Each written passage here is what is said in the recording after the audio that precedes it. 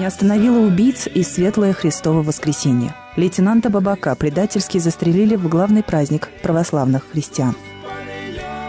Несмотря на то, что меня до сих пор это удивляет, это был праздник и Благовещения, и Пасхи, то есть так называемый Кирио Пасха, особое торжество, когда Пасха с Благовещением совпадают в один день, 7 апреля. Это бывает э, один раз за много лет.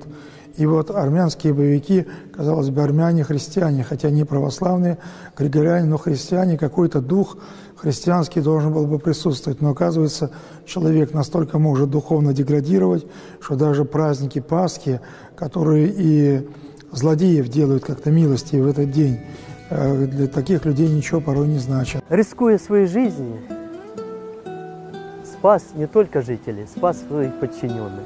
С десятками боевиков – сражаясь до последнего патрона, и был подло убит в спину под бронежилет. Такой день, двойной религиозный праздник. Он исполнил свой долг, исполнил свой долг офицера, исполнил свой долг мужчины. Он защитил мирное население от бандитов. За несколько месяцев до распада СССР в сентябре 1991 года, после многочисленных обращений жителей азербайджанского села Юхары-Джибекли, Олегу Бабаку было посмертно присвоено звание Героя Советского Союза.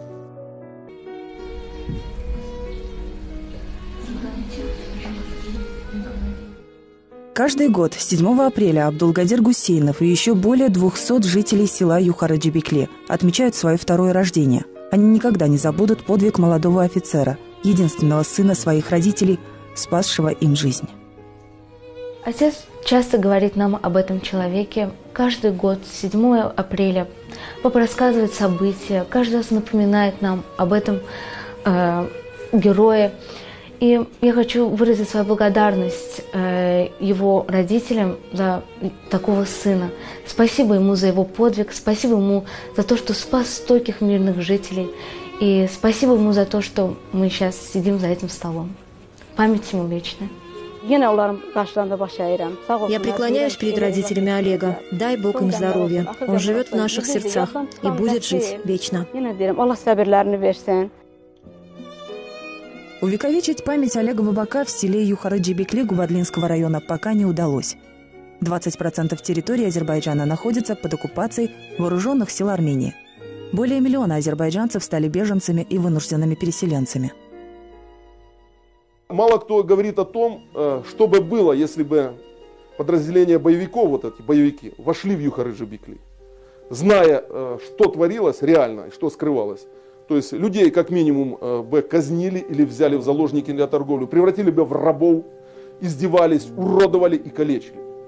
То есть благодаря тому, что вот Олег и бойцы выдержали этот бой, боевики не смогли войти в Юхарыжи-Бекли, не смогли осуществить свои планы.